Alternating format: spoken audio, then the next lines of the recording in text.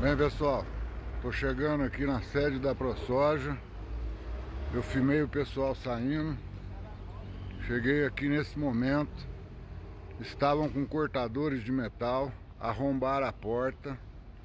Olha bem o que, que fizeram aqui. Isso é para vocês terem conhecimento do que, que se responsabilidade de todos que estão aí. Acabou, quebraram tudo. Agressão direta ao presidente da República.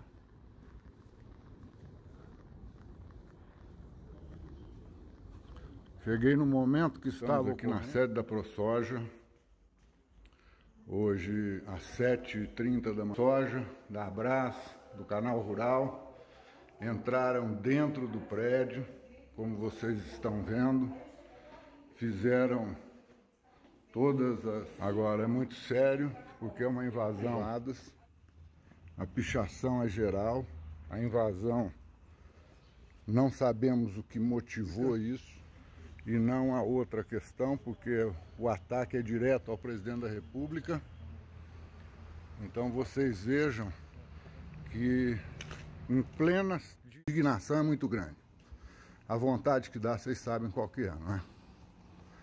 Mas nós não podemos andar armado, nós não podemos fazer uma série de situações, não podemos nos defender, porque temos aí grupos dentro dos nossos, dentro do setor judiciário que possivelmente apoiam isso, porque não é